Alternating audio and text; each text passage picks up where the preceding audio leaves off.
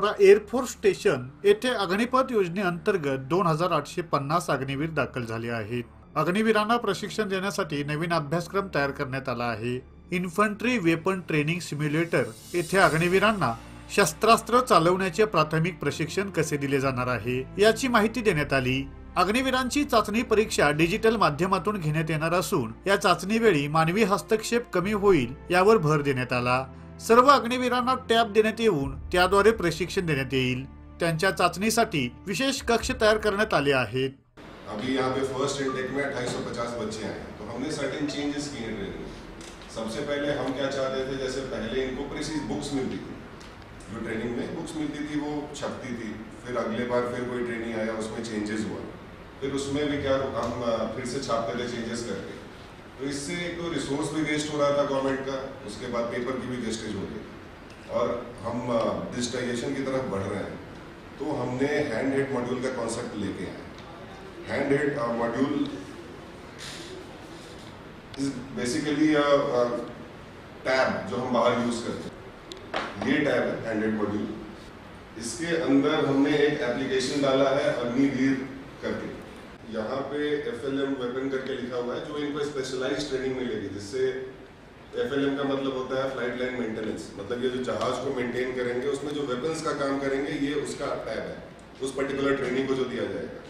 तो इसके अंदर आप जैसे देख रहे हैं कि ये एफ़ एल एम वेपन्स लिखा हुआ है तो इनका स्पेशलाइज ट्रेनिंग जो इनको मिलेगी, उसके सारे सिलेबस इसके अंदर है, और जनरल जैसे कि एक फौजी बनने के लिए हमको डिसिप्लिन चाहिए परेड आना चाहिए फ़िज़िकल इंडोरेंस अच्छा चाहिए तो उससे रिलेटेड जो भी सिलेबस है, वो जनरल में जैसे अभी मैं आपको एक डेमोन्स्ट्रेशन दूँगा। जैसे फ़र्स्ट चैप्टर है एयरक्राफ्ट गन एंड एमिनिशन इसके अंदर प्रेसीज है, जिसमें हमारा, हमारे भाषा में जो बुक्स को प्रेसीज कहते हैं।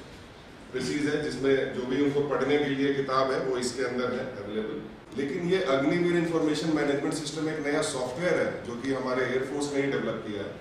दाखल झालेल्या अग्निवीरांपैकी काही जणांनी शारीरिक कसरती सादर केल्या. त्यामध्ये उंच उडी दोरीच्या सहाय्याने वर चढणे ब्लाइड फोल्ड रायफल्स भिंत चढणे याची प्रात्यक्षिके दाखवण्यात आली.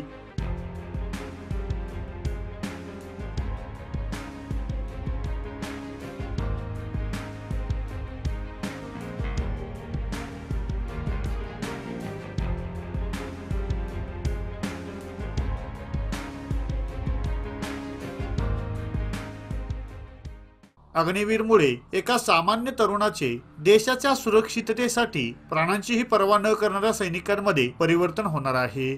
त्यामुळे संपूर्ण प्रशिक्षण गांभीर्याने घ्या आणि देश सेवेसाठी सज्ज व्हा असे आवाहन air officer commanding in chief air marshal Manvendra Singh यांनी केले. या सर्वांना उद्देशून ते बोलत होते. Okay seven point six nine lakh people had applied for being selected in Agniveer Vayu And um, after the written test and due selection procedures and processes that we are standard to us, we have finally selected 2850. And they have been enrolled. We had called a larger number, some have um, had medical issues. So finally, we have selected 2850. That was the plan, and that many we have managed, we have inducted as of yesterday. and they are all fit and ready to start their training today. नहीं अभी फ़िलहाल हमारे पास अ, पिछले 75 साल का experience है airman training करने का।